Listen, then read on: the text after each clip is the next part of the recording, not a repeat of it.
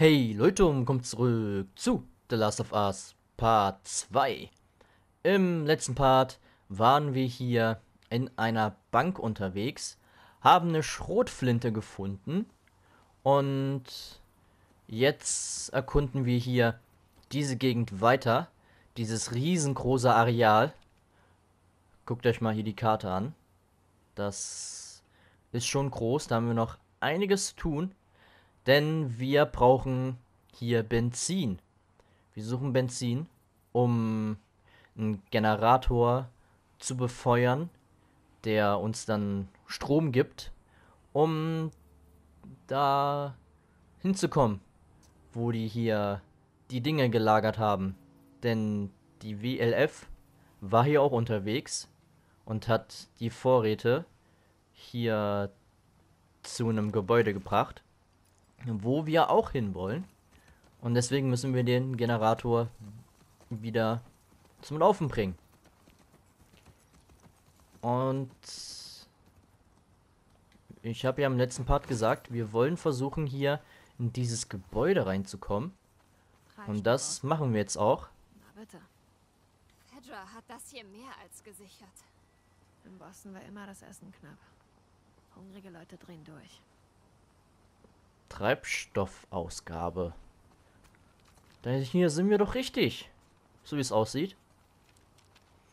Ihr könnt auch gerne die Videobeschreibung abchecken und den Link zu Instant Gaming folgen. Denn da gibt es günstig Games und Guthaben. Link dazu findet ihr in der Videobeschreibung. Und hier kommen wir nicht durch.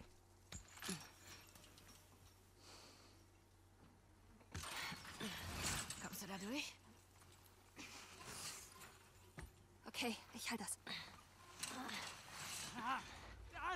Oder halt doch.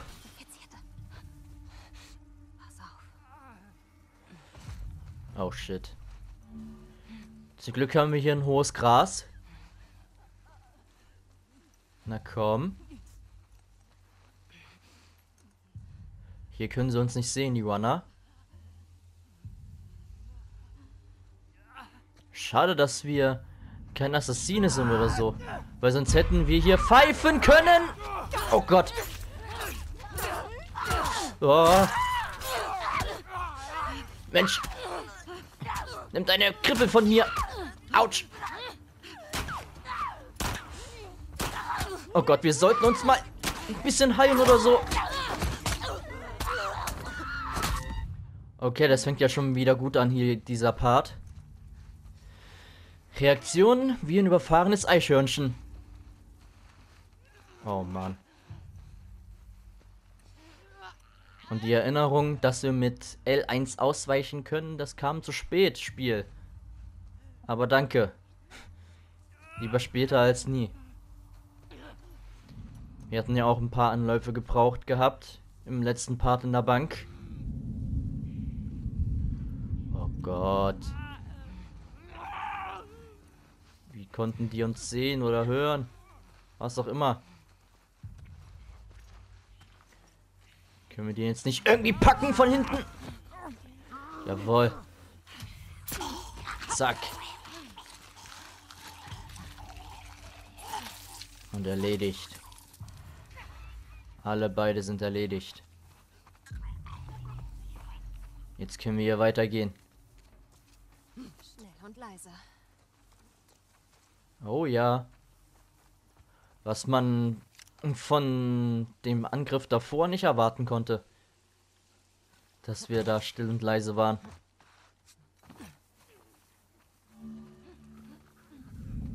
Oh Gott, oh Gott, oh Gott. Da sind zwei Klicker und ein Runner. Oder halt noch mehrere Infizierte. Ach du meine Güte. Ich wollte schon sagen, sind die Klicker versteinert oder was? Ah, nee, sind sie nicht. Einmal lautes Killen hier. Oh Gott. Und jetzt müssen wir hier zurück.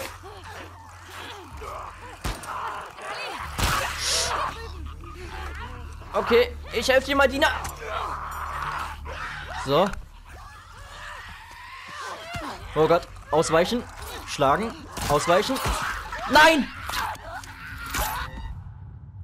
Warum visierst du den Falschen an, Ellie? Ach, Mann.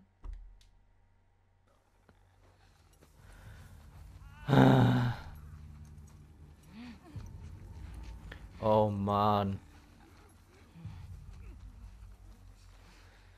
Hm.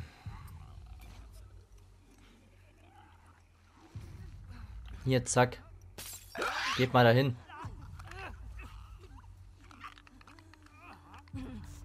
Schaut mal danach, was es dort gibt. Oh Gott.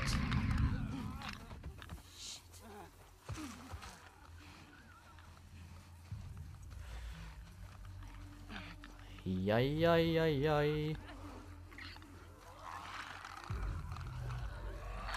Oh, sehr schön.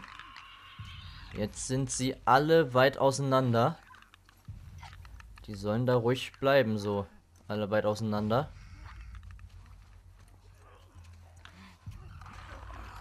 Jetzt sind sie da verstreut.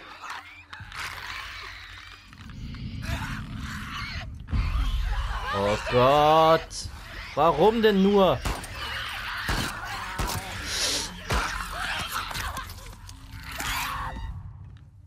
Kann sich jetzt nur noch um Stunden handeln. So gefühlt. Los, komm. Zack. Ein Kill. Und dann wird es immer laut. Das ist das Problem. Erstmal auf den Klicker da gehen. Versuchen den zu killen. Denn der macht uns hier am meisten Probleme. So. Und am besten ein bisschen Munition sparen, wenn es geht. Aber gerade geht's nicht. Oh, Dina, ich komme.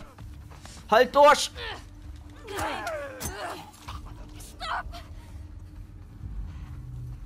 Puh.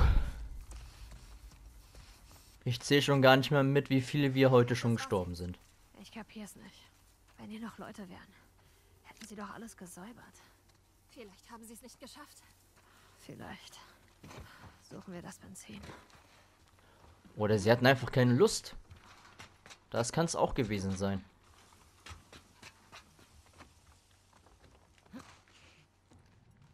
So, jetzt sind wir hier drinne. Hoffentlich gibt es hier Benzin. Und halt andere nützliche Dinge. Das hier ist eine Synagoge. Woher weißt du das? Zum einen ist da Menora-Deko an der Wand. Das ist was Jüdisches. Und ich bin noch nicht in Flammen aufgegangen. In Flammen aufgegangen? Ist nur ein blöder Witz. Hm, also auch nicht zum Lachen? Oh, Klappe. Mist. Der Riegel ist auf der anderen Seite. Hier ist Benzin. Ich muss nur hinkommen. War ja wieder klar, dass es dort von innen verschlossen ist. Oh, weitere Materialien zum Craften.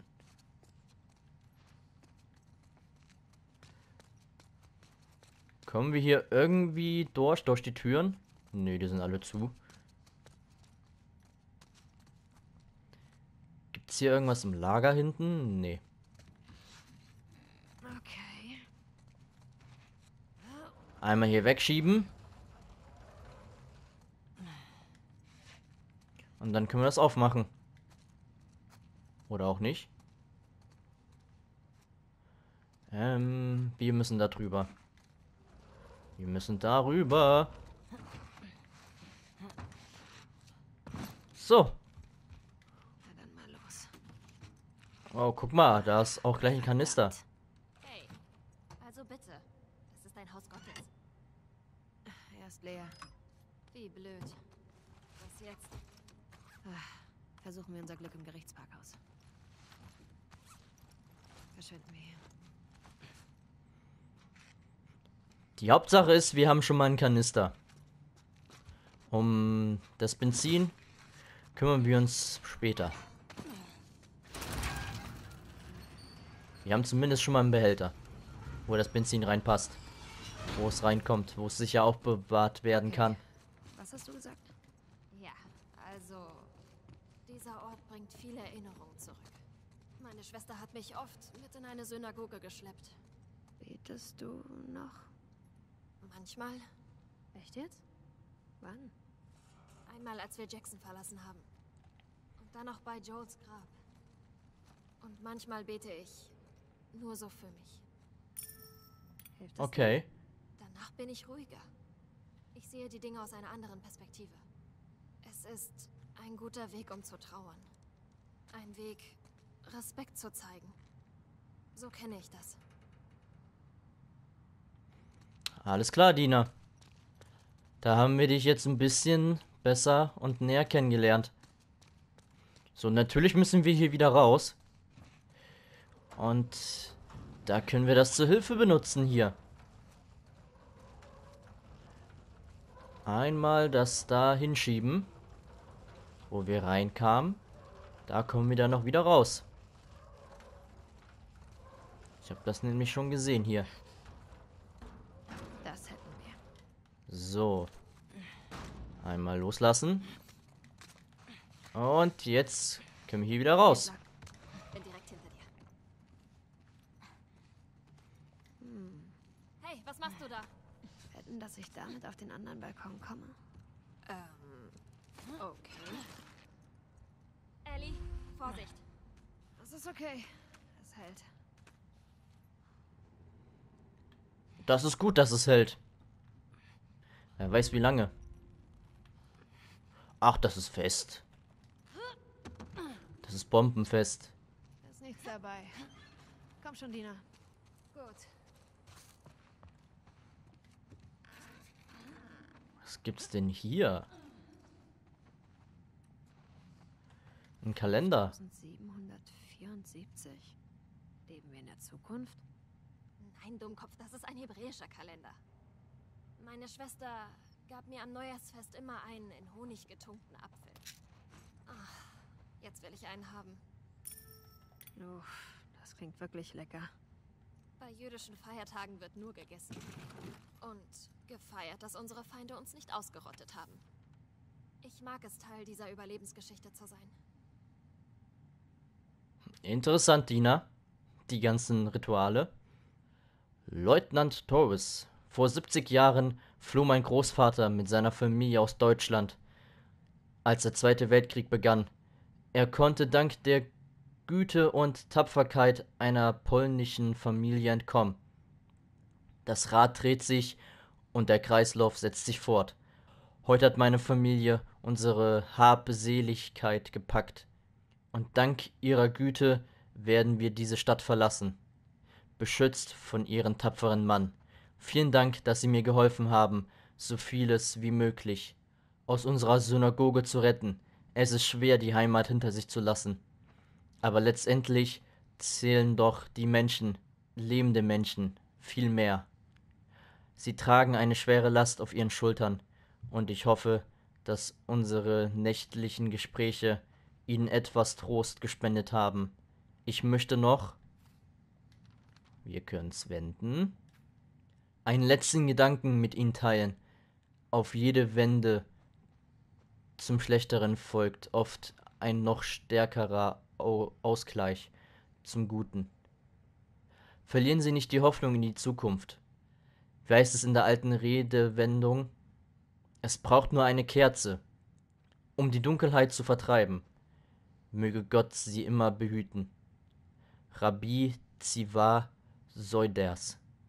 Oder Soinders.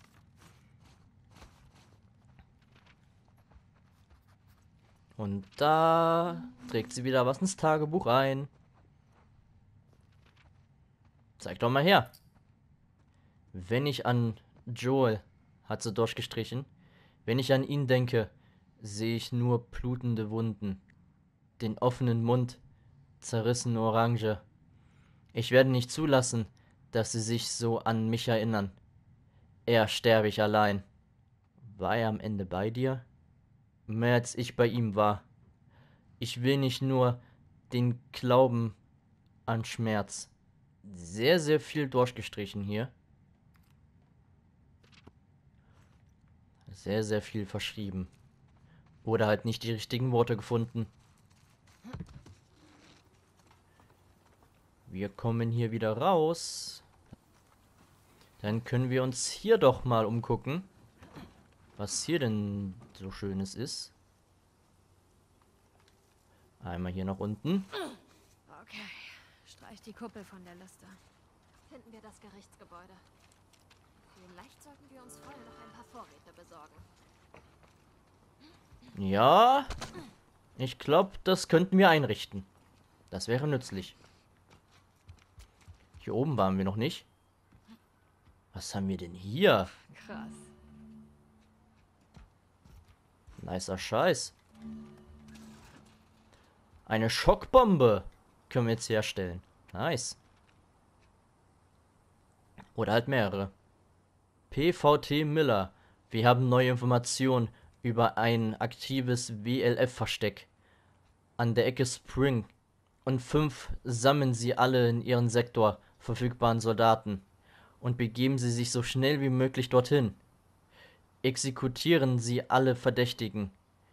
Sichern sie den Standort und warten sie auf meine Ankunft. Sergeant Ward. Spring und Fünfter. Wieder was Neues auf der Karte. Sehr schön. Und hier ist leider Treffer. nicht so viel. Nur Munition. Du kannst eine Waffe pro äh, Holster ausrüsten. Okay.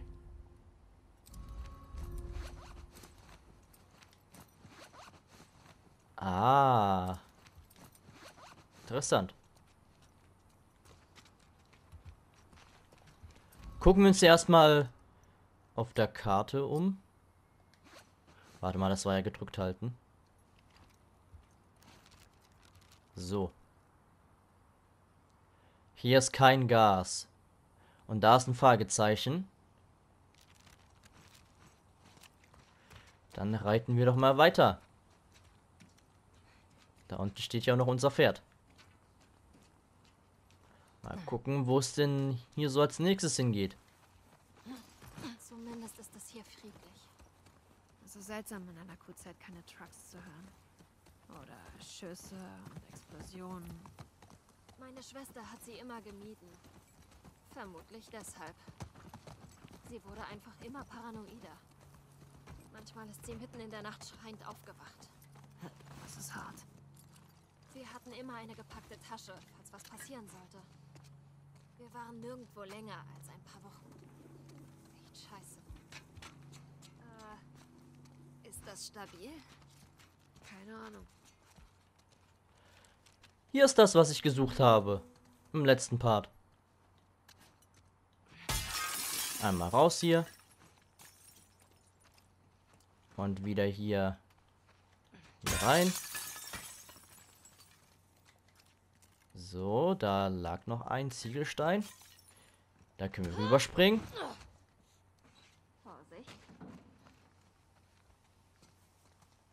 Und können jetzt hier hoch.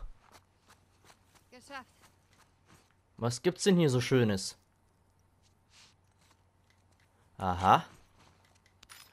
Man hat zwar nicht gesehen, was, aber nützliche Dinge. Oh. Eine Sammelkarte. Dr. Uckman.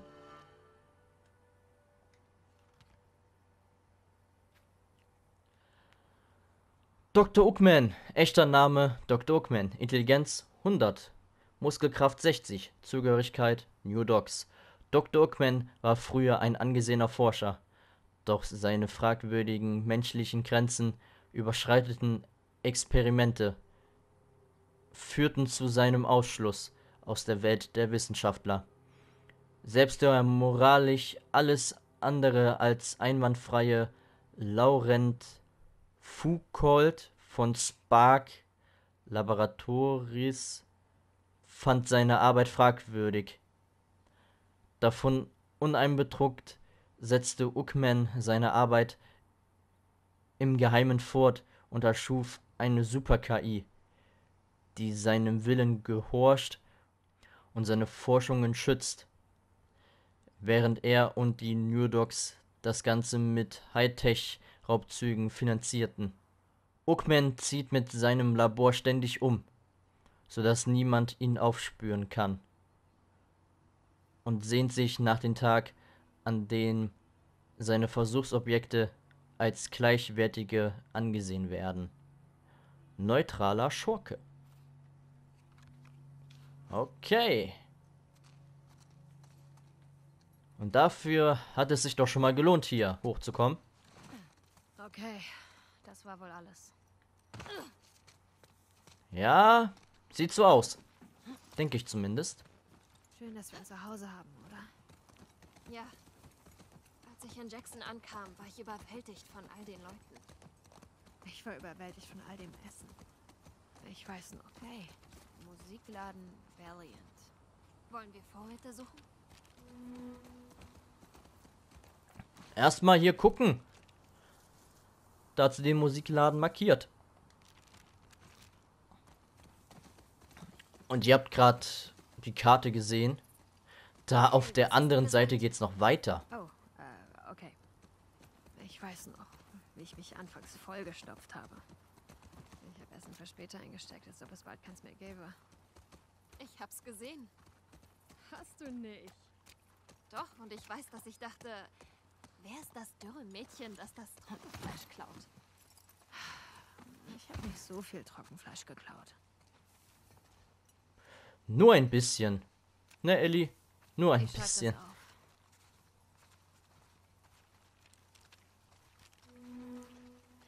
Was hat sie denn jetzt schon wieder markiert?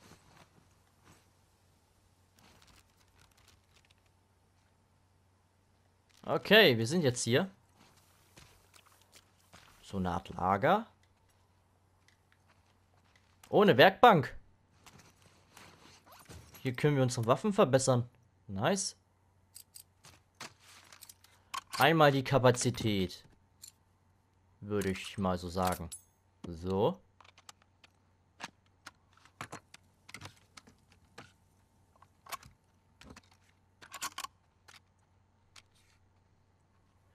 Sehr schön. Mehr können wir nicht machen hier. Oh, hier gibt's sehr, sehr viele Vorräte. Mensch, sammle das ein.